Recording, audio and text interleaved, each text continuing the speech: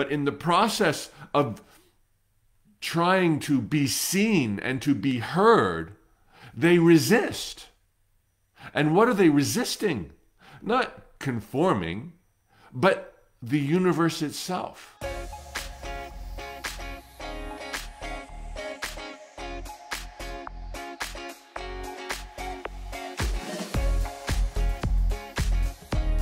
Jambo, fellow adventurers, I'm Mike Dooley, here to remind you once more that your thoughts become things. And I'm going to do it today by dropping another edition of a week's worth of spiritual tune ups. These were broadcasted live this week. My answers to fellow adventurers' questions about life, dreams, and happiness, and each one took 5, 10, or 15 minutes.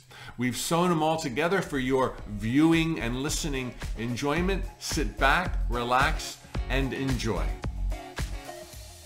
Jambo, fellow adventurers, it's great to be back in the saddle doing spiritual tune ups after a week off. Thank you so much. Hope you had an amazing Thanksgiving week. I did. Today's question, and by the way, thanks for the questions you post down below on Facebook and Instagram. Special shout out to my Infinite Possibility members. I give your questions the highest priority. Mike, why do people sometimes or chronically engage in self sabotage? Now, this is one of those words or angles or fears that I think a lot of folks have.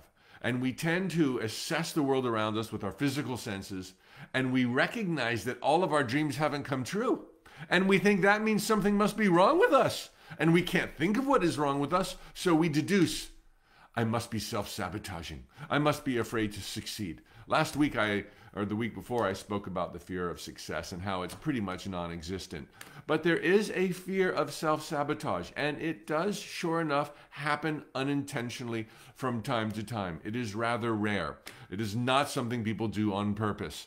Um, it comes from uh, a fear possessed by those who believe they are vulnerable, which is all of us to a degree, okay, that's understandable. But to those who feel really vulnerable, who feel like they're not being seen, who feel like they're not being heard, who feel like they're disappearing in the crowd, that, that they're not being recognized, those folks feeling extremely vulnerable are rather terrified of going along with the masses, of doing anything remotely conformist, um, remotely designed to fit in. And they are suspicious of anything that may be others trying to corral them into behaving in a predictable way. You know, getting the normal job, aspiring to wealth and abundance, being surrounded by wealth and uh, uh, friends and laughter, um, having a lot of likes on Facebook. This type of person who's so afraid of disappearing is probably not even going to be on social media. They feel like everything they do in a in a conforming sense erodes their power and makes them invisible. And it is not that they want to self sabotage, but in the process of trying to be seen and to be heard, they resist. And what are they resisting? Not conforming, but the universe itself. And by no means would I ever suggest anybody do anything to conform. Don't do anything ever that you haven't thought about with your mind and your heart. Be there if it's good for you. But to deny, but to renounce, uh, to resist just because everyone else is doing it and they think you should do it. And who am I? I'm not your puppet. And so we see this with vaccines, although there's good cause to, in some cases, not get a vaccine. We see this with uh, conforming in careers or, or not keeping a job. It's not that they're self sabotaging intentionally, but they don't want to become invisible. How, how impossible is that? But yet, perhaps those with less experience in time and space who are not so readily able to see the magic and wonders around them and within them feel that they can disappear. So they resist. And resisting, they stem off the flow of life, the very life force that supports them, sustains them, and the consequences would well be described or defined as self sabotage. Now, one question for you because most people do not self sabotage. Don't jump to the conclusion, I want it, don't have it, must be self sabotaging. That's not the case at all. Most people do not self sabotage. To know whether or not you're self saboteur, self saboteur, uh, trying to put my French on that, um, ask yourself, you know, or watch yourself. Are you in a perpetually resistant mode? Are you perpetually denying, perpetually pushing back? Okay. Now that's a lot, perpetually. There are those who do that. And those are the ones who are literally shutting off the force of life before it reaches them. And, and this is bringing about consequences that they are not very fond of. To, to, to catch yourself, to prevent this from happening to you, number one, don't assume that it has. Everyone has resistance. That's completely normal, especially on a cold day. Nobody wants to get out of bed. But, um, but monitor your resistance levels. And then the person who thinks that everyone else is gullible, the person who thinks that everyone else is crazy, it's them. And if you're that person, the only sane one in the room, this is your invitation to reconsider. You're not being surrounded by Einsteins or Buddhas.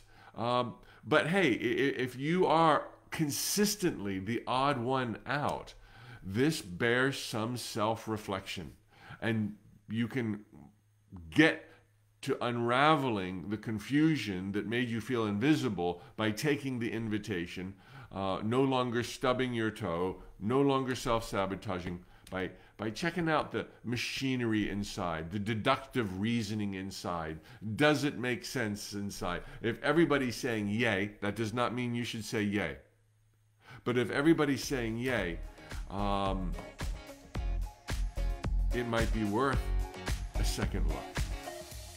Jambo, fellow adventurers, today's question oh, led me to some places I've never been to in thought and it brought a lot of clarity. It's a very simple question, but with profound meaning, can make the difference between have and have not. Okay, the difference, the question is, Mike, explain the difference between idle daydreaming and constructive visualization.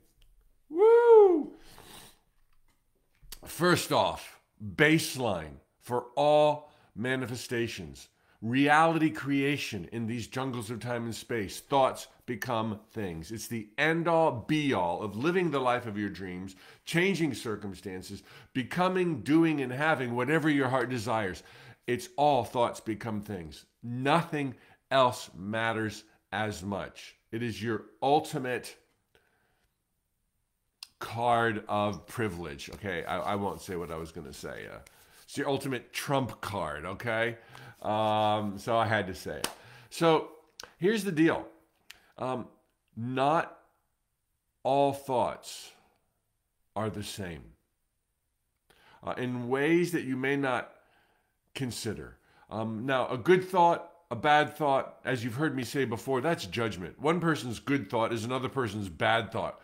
Thoughts don't know the difference. The manifesting properties beneath them don't know the difference.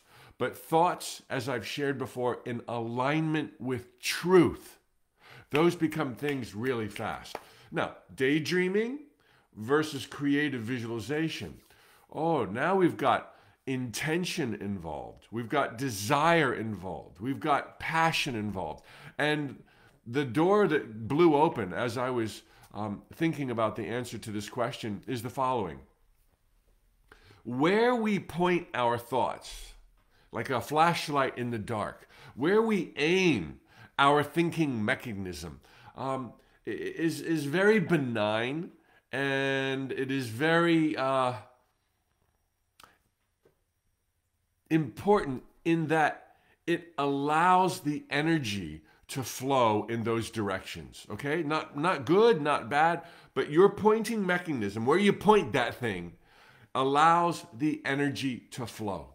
It is not your thoughts that actually become the things and events of your life. It is the energy, the, the spirit, if you will, that follows your thoughts. Now, maybe perhaps in a deeper sense, it's the same, same. Your thoughts and the energy that follows them. I have to think about this deeper. But it's your aiming mechanism is your creative visualization, is your idle daydreaming. In and of itself, it doesn't move mountains or or turn into a manifestation.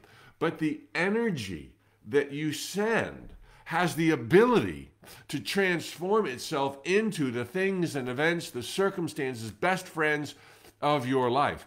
So the question is not only aim, but the quality of the energy that's coming forth.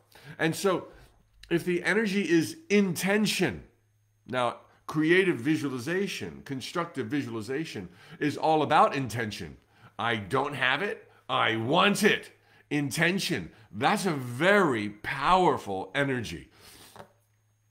Desire is intention. Desire is a recognition of lack or, or incompleteness um, with the presumption that you could be made whole. And so if you're pointing that thing with an energy of becoming whole, very similar to intention. Intention, desire, not the same, but very, very similar, very powerful.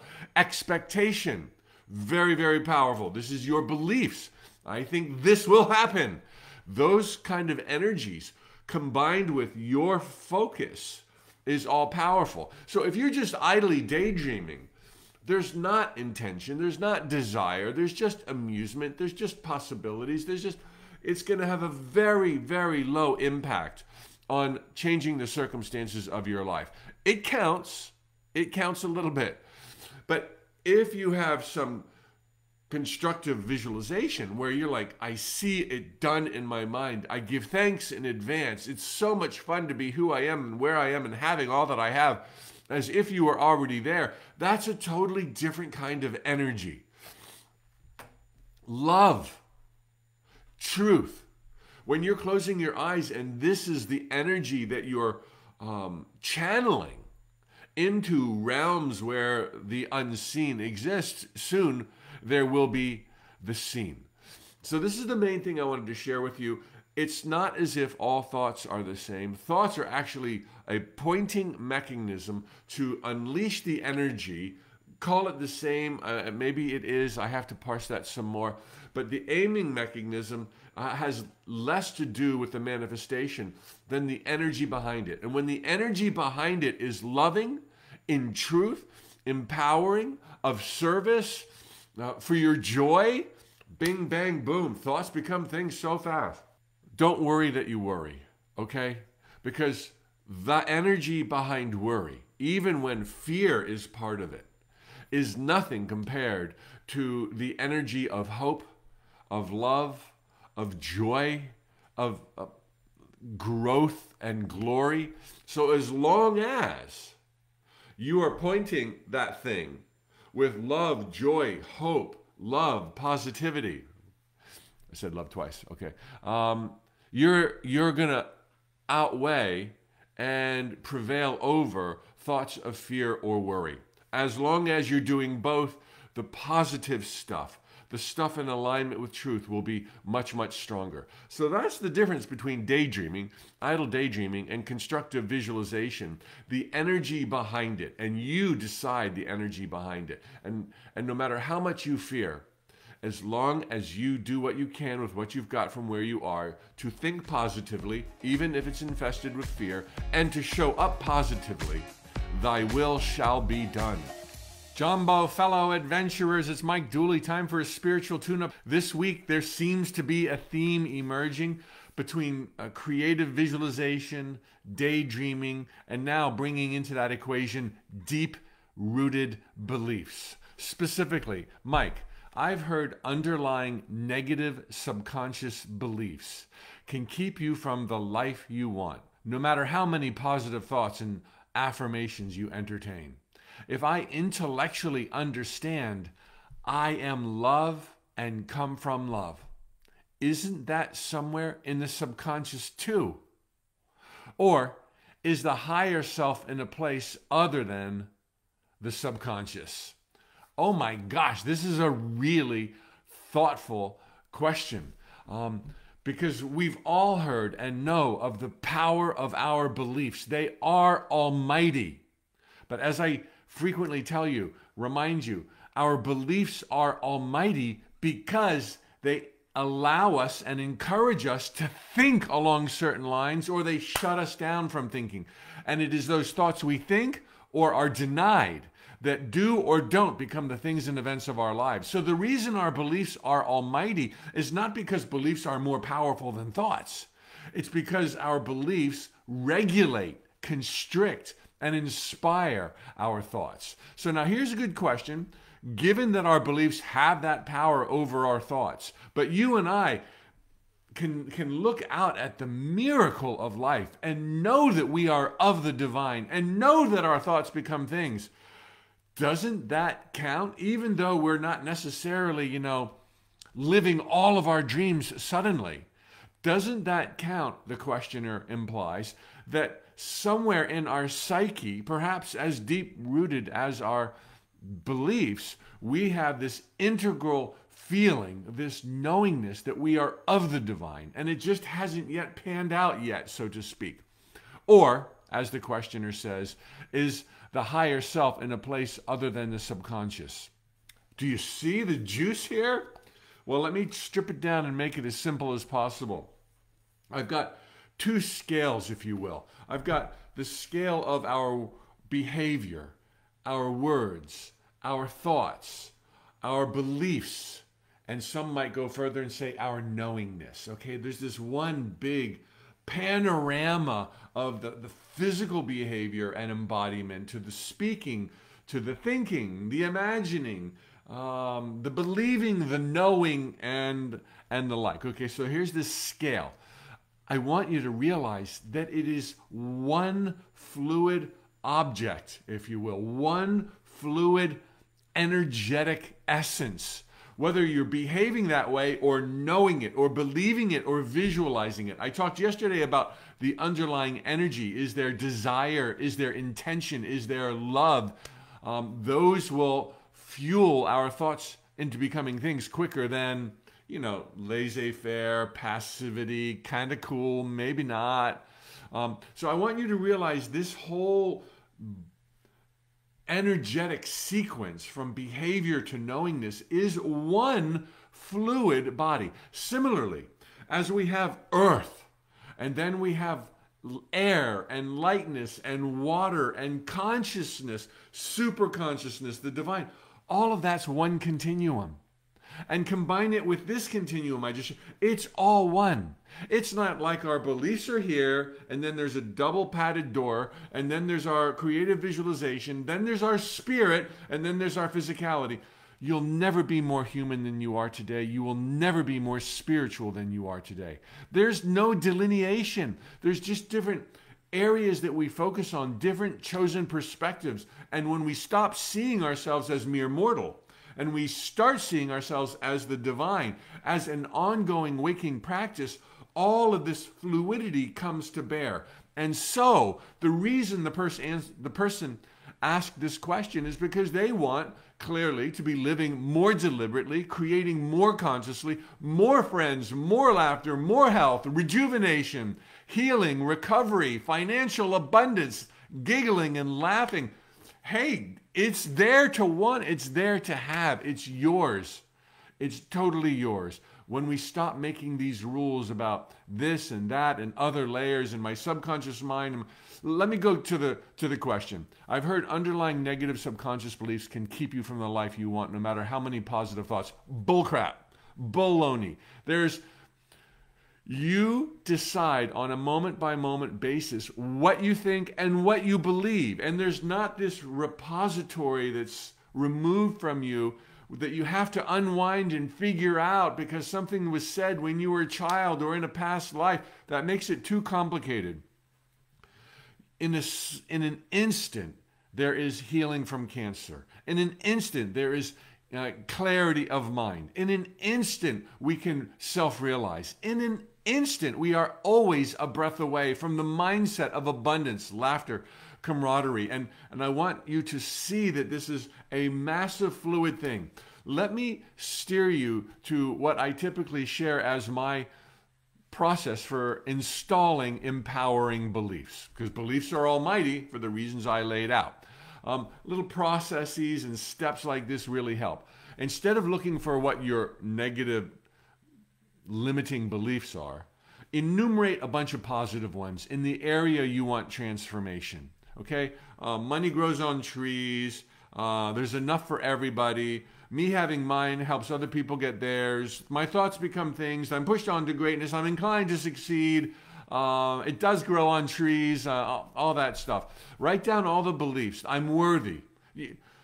Whether or not you believe them, write down really cool, empowering beliefs that you would love to say are mine. You know, th- those are my beliefs. You know, um, money is easy to make. Money is easy to find. Money is easy to attract. Wouldn't those be great core beliefs that will rewire thing? So write them all down. Step one. Step two. Study that list. Mull it over in your mind. Even if you don't make it physically, think about these truths that I've just shared about money and or health and or laughter and or healing and or remission and or recovery, whatever you want. Write down all those cool beliefs, how easy it is, how effortless it is, how natural it is. Um, and then study it and see the validity of it. Just see, dang it, that you are of God, by God, pure God. You're here to thrive, to know the truth, to love yourself. See that. You know that it's true. Don't let, you know, the peanut gallery and your other voices, the barking dog or your negative relatives, I mean, they're gonna, they're always gonna be there, okay? So you just bark and you just whine and you just complain, but I know the truth and I see it. And look for evidence of it in your life, even if it's just little sparks, okay? And step three for installing empowering beliefs, and I'm gonna tie this back into the continuums we were just talking about. Step three is every day, in some small way, act as if those were your beliefs. Act as if you knew you were worthy. Act as if you knew you were of the divine. Act as if it was easy to come into money. Act, demonstrate, even move towards transformation as you know it is inevitably being pressed towards you this moment. That third step is the, is the clincher. That's how you install empowering beliefs and you don't even have to know if or what your limiting beliefs were. But now take this approach for installing positive beliefs and combine it with the notion that that you are this one endless continuum of high and low, matter and ether and spirit, words and behavior, beliefs and knowings. And I want you to dance every single day in, in the light of truth. I want you to creative visualize. I want you to affirm. I want you to behave. I want you to exist, eat, sleep, and breathe in this realm where it's easy, where you're supported, where you are loved, where your wish is the universe's command.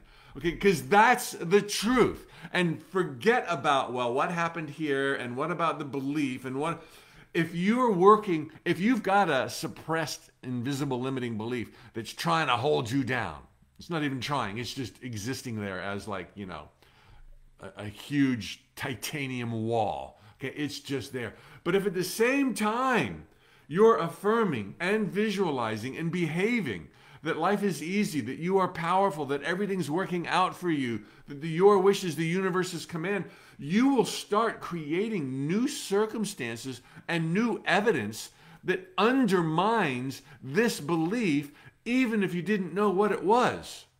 So, so to the core of the question, can underlying negative subconscious beliefs stop your positive thoughts and affirmations from becoming the things and events of your life? No, it's one continuum, and your positive thoughts, your affirmations, and your behavior will create a body of evidence that completely destroys and undermines that titanium and turns it into tinsel so that you can barge on through and live the rocking life that you chose to live, which is this one There's nothing slowing you down. There's nothing you can't do, not even yourself. You're inclined to succeed. Just be who you are, exist in the present, follow your heart, think the good thoughts. That's your natural setting. When you have some worry, some worry, some negative thoughts, ha, laugh at them. Go ahead and worry your head off because I'm going to also do the positive things I know to do. And I'm going to get grounded and I'm going to get logical. I'm going to follow my heart and I'm going to use all of my faculties and I will arrive. Thy kingdom come. Jambo, fellow adventurers, time for a spiritual tune up. I'm Mike Dooley. Thanks for the great questions down below. Today's is uh, juicy to say the least. Uh, what, Mike, are we supposed to be doing with our lives? What are we supposed to be doing? Well, first of all, the, the question is a bit flawed when you read supposed to. Okay? There is unlimited freedom freedom unimaginable. It's not like you're supposed to be doing anything. You're not supposed to be going out and loving people. You're not supposed to be cooperating. You're not supposed to be happy. You're not supposed to be anything. This is one big adventure to see what happens. But given the spirit that fills your cells and your DNA that brought you here, this gigantic tidal wave of love and curiosity and wonder divine mind, given the nature of who we are and where we are, uh, the one thing that makes the most sense is for us to soar, for us to thrive, for us to play. Yes, for us to love, not because we're supposed to, because we just can't turn that stuff off when we are in a free and unfettered mind, when we are in our natural state, when we are not preoccupied thinking falsely that life is happening to us and we start seeing that we are happening to life. But it's okay. It's a big charade. It's a big game. It's being played out in the heart and the mind of God, if you will. So, the best thing I could advise anybody at any point, and I'm certainly not the first to recommend this, is to follow your heart. Every single day, follow your heart. Do what you want to do. Go where you're led. Follow intuition. This is the wisest within you, your intuition. And it's all about joy. And I know at this crossroads in time and space where we are overwhelmed with sensory perception, when we are at the height uh, oh, it's probably been worse, but the height of our ignorance as to who we really are. And we've been messing with the shoulds, and we've been messing with the hows, and we've been trying to do what we're supposed to do, whatever the heck that was. We become desensitized. It's like, I don't even know what I want to do anymore. I don't even know who I am anymore. I don't even know why I'm here anymore. So you ask this question. That voice is still inside of you. That sense of wonder is still so alive and well. You cannot extinguish it. So just be a little calm, be a little quiet. Follow that impulse that takes you out. Say hi, smile to a stranger. Follow your curiosity wherever it may lead. You don't have to worry that you're some savage animal beast that can't be trusted. You're pure God. You can be trusted. Other people can be trusted. It's those who think that they can't be trusted and that they think the world's a dangerous place that resort to all kinds of chaos and confusion because they're so far removed from following their heart and allowing themselves to soar. So follow your heart in the quest for bliss unending. And if it's not making you happy now, then do what you think might make you happy later on. And you will get your groove back on. You will find out who you really are. And then the most amazing thing happens when you start following your heart. Lions and tigers and bears. Oh God, that's the best part of life. Because when these challenges start showing up, which they're bound to do as you follow your heart, it's by design, you start realizing where you still have something else to learn and some other way that you could be more amazing and some other radical idea that can take you from here to an entirely new orbit, experiencing joy unimaginable today as you hear these words. That's what awaits you. So here you are here to soar, you are here to thrive, and you will do that by following your heart out into the world where you are will you where you will stub your toes, where you will fall down and then you will get back up higher than you ever were before. So bless and greet and celebrate the lions and tigers and bears. They're a finite number. You are forever. They are temporary. You are their greater. You are their creator. You will rise above that which now torments you. Do you feel awkward? Do you feel lonely? Do you feel different? Do you feel sick? Do you feel tired? Are you broke? Are you brokenhearted? This will pass. And this will reveal to you that you were always amazing and that you were right on time and that you were the person you were supposed to be and that you are who God most wanted to be. That's what you're supposed to do here in time and space. Sing and dance and follow your heart, and it will get easier. And the lions and tigers and bears will get fewer. And then, oh my gosh, then, to the best of my deductive ability to reason, and from the little bits I've read that have confirmed this, you will come to a fork in the road. You will discover, because you followed your heart in your quest to soar, and you fell flat on your face, and then you soared even higher than you dreamed of, you will discover how powerful you are. You will discover how life is so easy that you've been happening to yourself. You've been happening to the world, that you are the reason the sun rises each day. And when you find out these magical truths that are present even as you hear these words, that are true even as you hear these words, you will come to a fork in the road. And you will either choose to spread wings you do not know you now have and soar beyond these sacred jungles of time and space with pure gladness and joy in your heart, with your posse, with your friends, or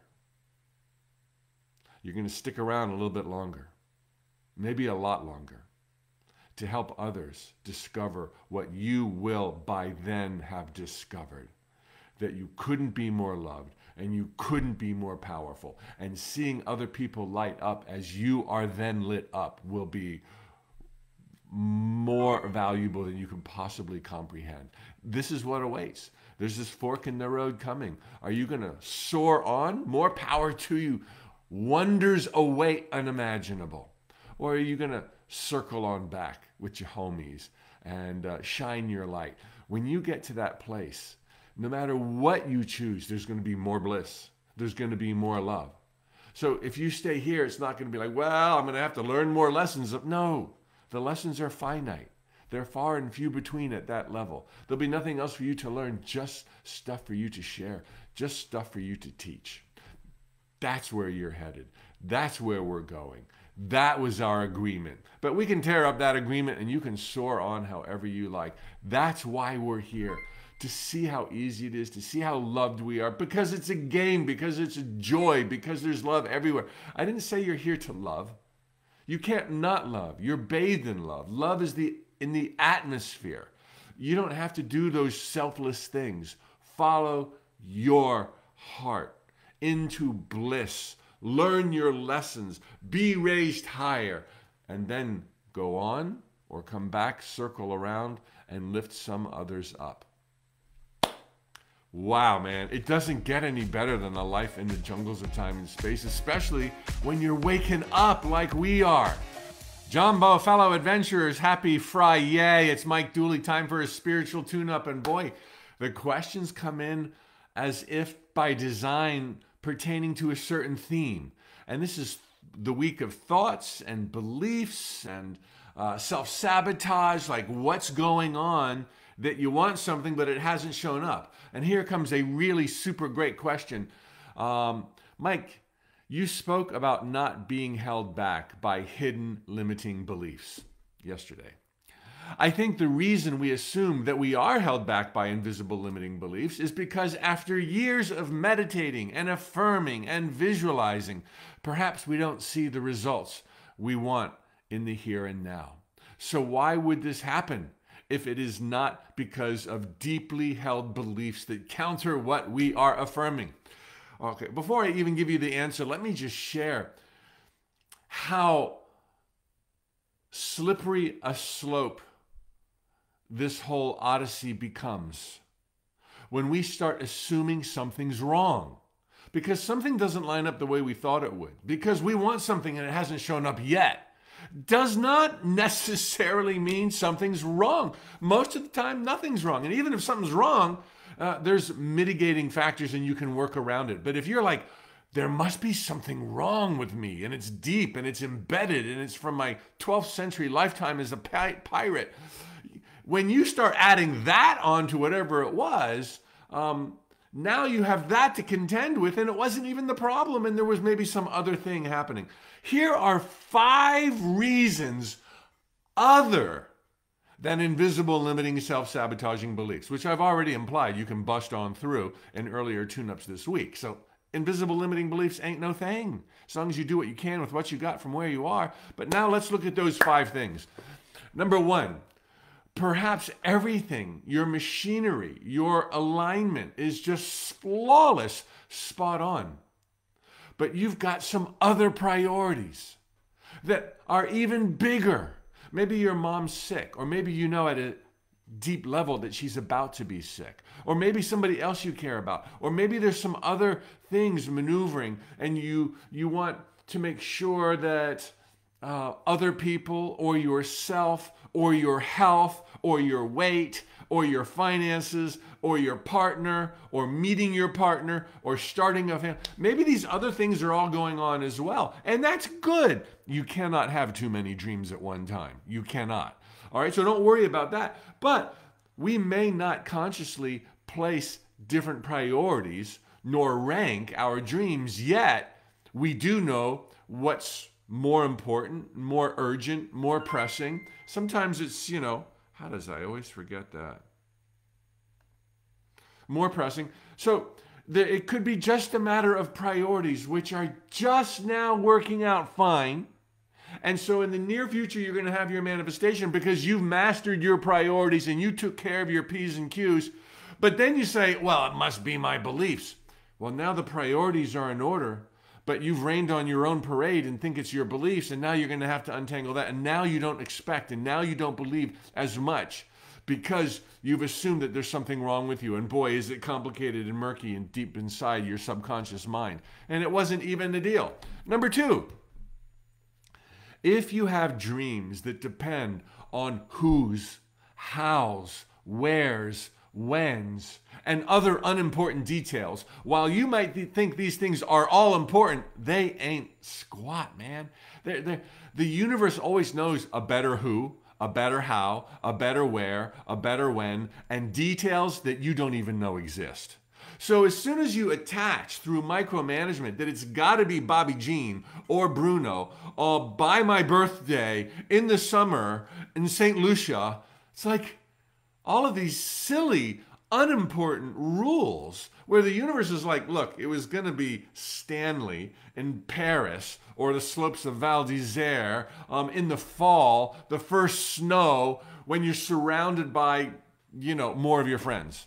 But you don't know that that option exists. The universe knows all options. The universe knows all possibilities. And the universe isn't some kind of fake metaphor for trust and believe. It's like there is divine consciousness in every molecule and in every void, in every dimension, there is living intelligence that's tracking every thought, person, possibility all the time.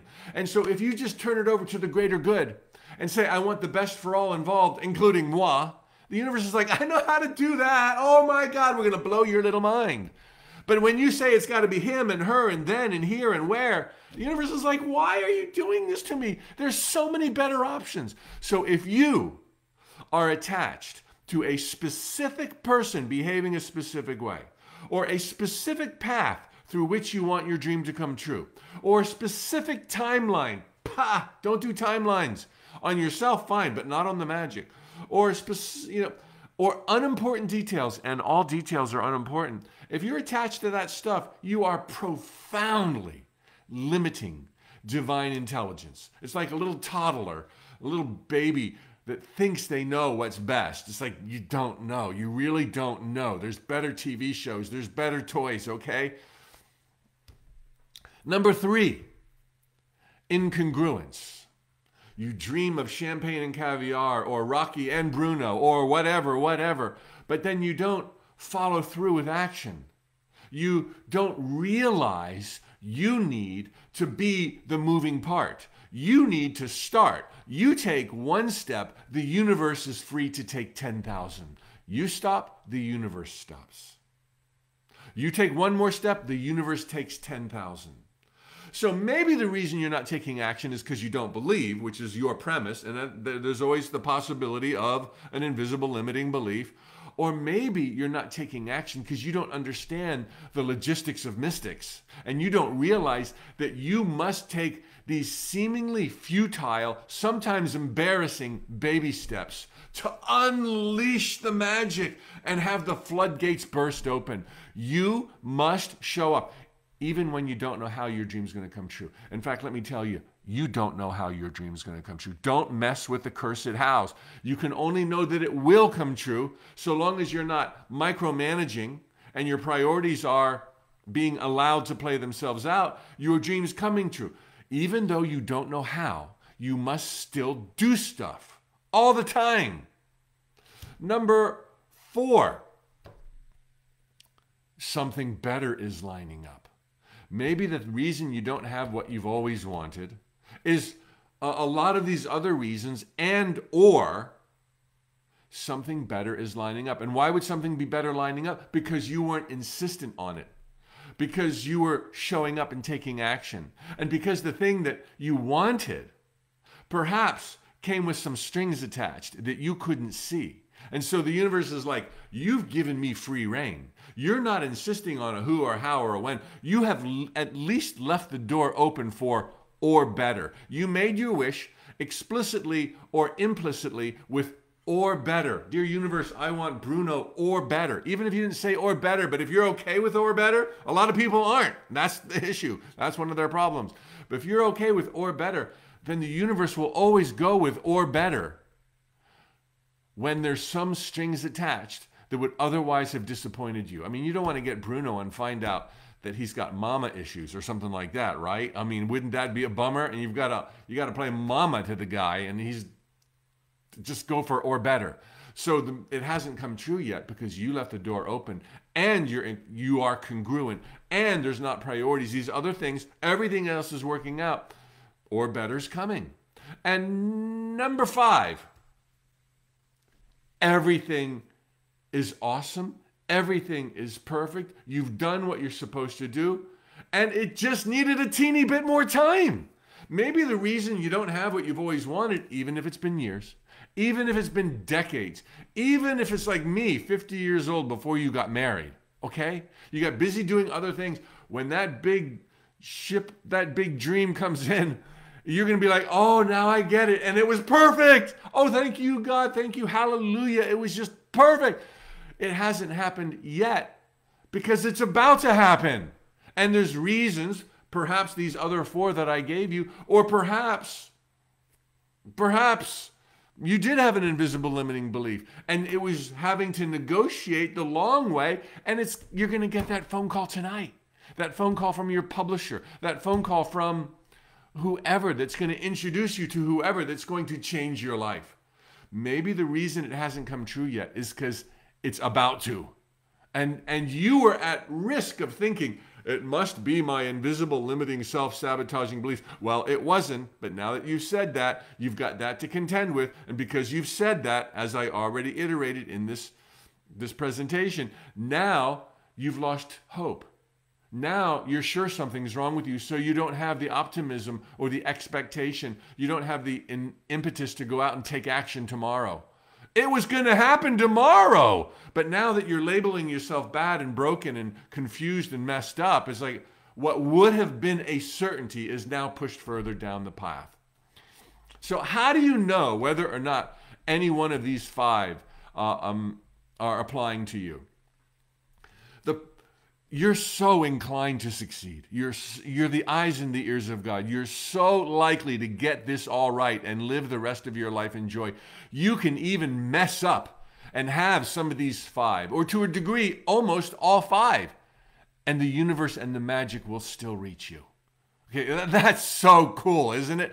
But if you really want to make sure that you are spit and shine, ready to go, super fast, make it happen ASAP of those five, perhaps the most important that you refrain from doing is the micromanagement. insisting on specific behavior from specific people, insisting on a how, the path that your dream will come true, insisting on a when or a where or unimportant details. All details are unimportant. If there's attachment, your dream might still come true. But if there's attachment, there's a possibility it'll never come true. If your dream is attached to a specific person behaving a specific way, you can't manipulate people, but you can have someone better.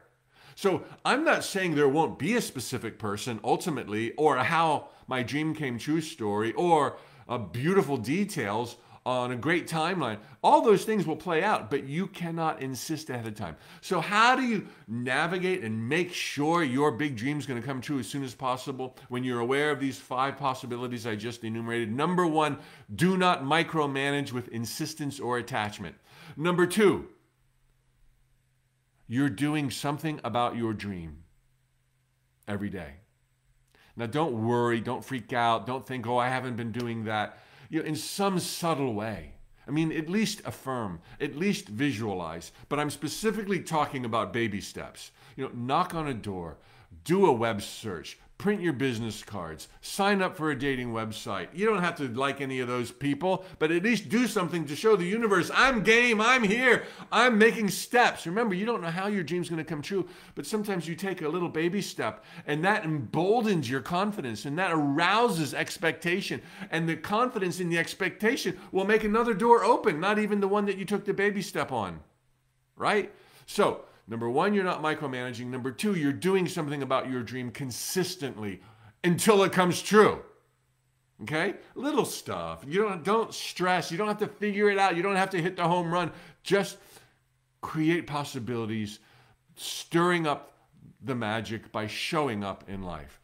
And number 3, even if you do have invisible limiting self-sabotaging beliefs, that are just stopping you, stopping you. Hey, that's a possibility. Don't assume that it's what's going on. But even if you did, as I have shared recently and in other tune ups, the way to bulldoze invisible limiting beliefs is you enumerate the beliefs you want to hold.